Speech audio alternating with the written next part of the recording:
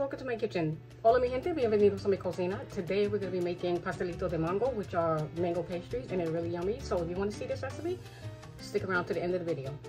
And if you want to see more recipes like this, hit the subscribe button and the notification bell so you don't miss out on any recipes. So let's get started. So the first thing you're going to do is wash your mangoes and then you're going to cut them into cubes.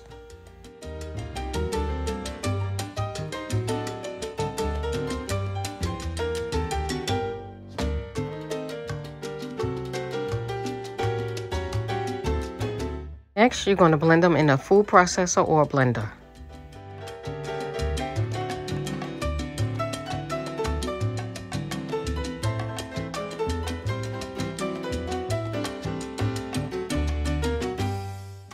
Next, I'm going to add some sugar to the puree. Now, I'm adding three tablespoons, but if you prefer to add more sugar, you can. And if you want to add less sugar, you can. Uh, just test it as you go so you'll see how sweet it is.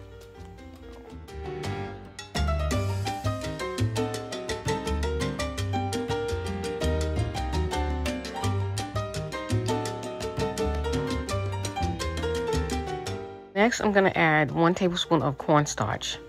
And this is just to thicken up the um, mango puree so it won't be so watery.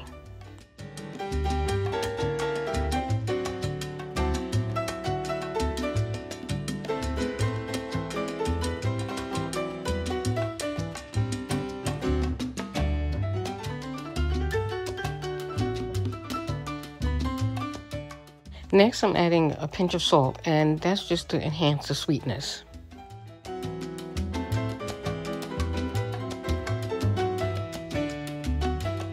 Once the mango puree starts to thicken up, then you can remove it from the heat and pour it into a bowl so that it can cool off.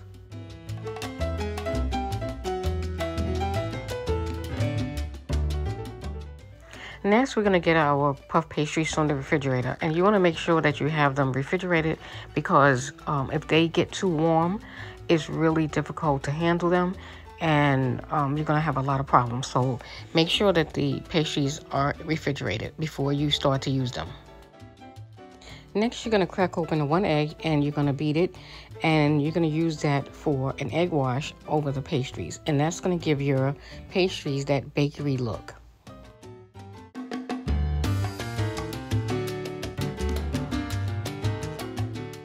Next, you want to get your cream cheese and your mango puree ready so that you can start adding them to the pastry.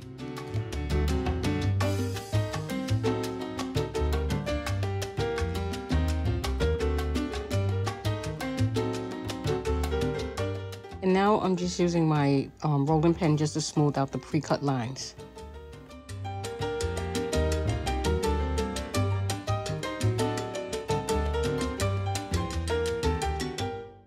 Adding about one tablespoon of cream cheese and a tablespoon of mango puree.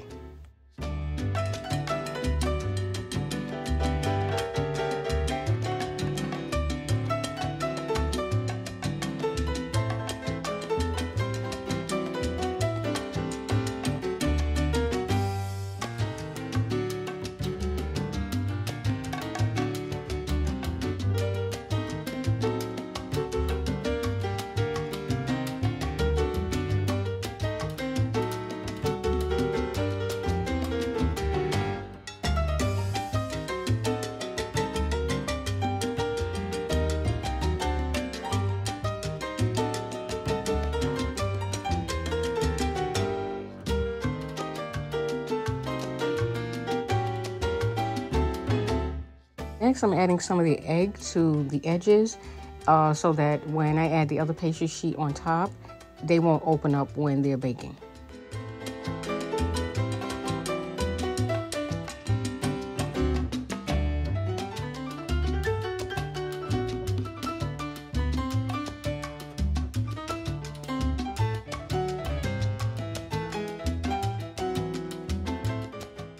After that, you're going to take your other puff pastry sheet and put it right over top of the other puff pastry sheet. And you can cut it um, as big or as small as you want. This is going to give me nine puff pastries. Um, if you want to make them smaller, you can, and it will double the amount.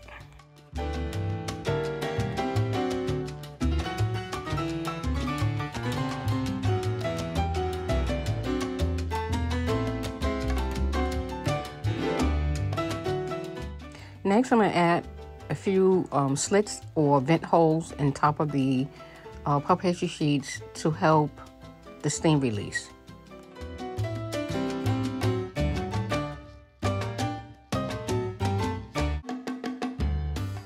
Next, we're going to add egg wash to the top of the pastry sheets, and that's going to give your um, your puff pastries a nice golden color at the top, like they do in the bakery.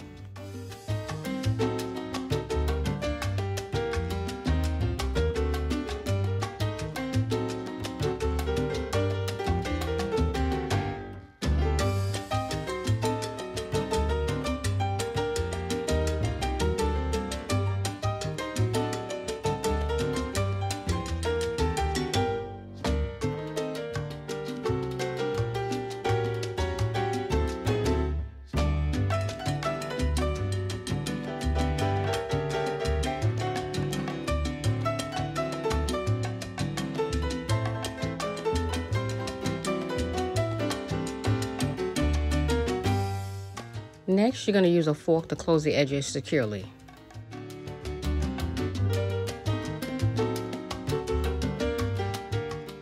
You're going to bake these at 400 degrees um, in a preheated oven for 20 to 25 minutes, and you're going to rotate the tray halfway through so they, they can bake evenly.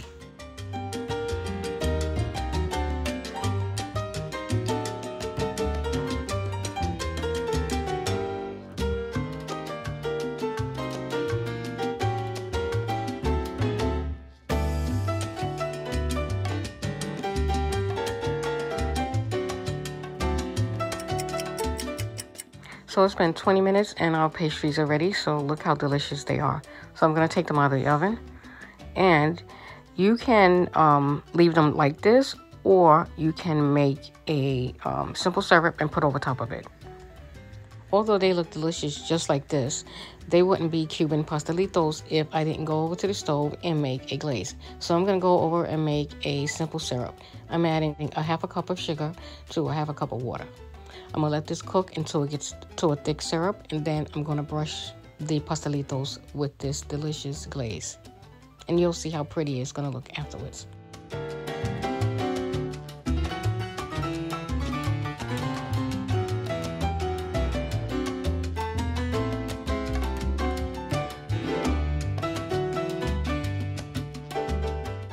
Okay, our simple syrup is ready and we're gonna go over and pour this into a bowl.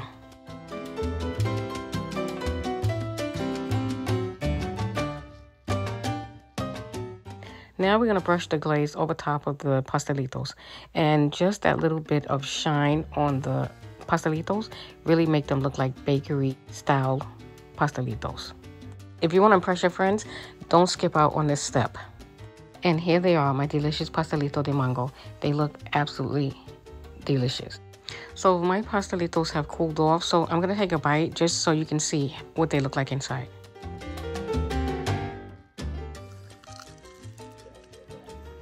These are nice and flaky and delicious inside. Well, guys, it's time for me to go. I want to thank you for taking the time out to watch this video. If you like this video, give it a thumbs up and leave a comment below. Follow me in my Facebook group called Cooking the Cuban Way. You can also stop by my YouTube store. You may find some things there that you might want to purchase. Until next time, thanks for watching. Bye-bye.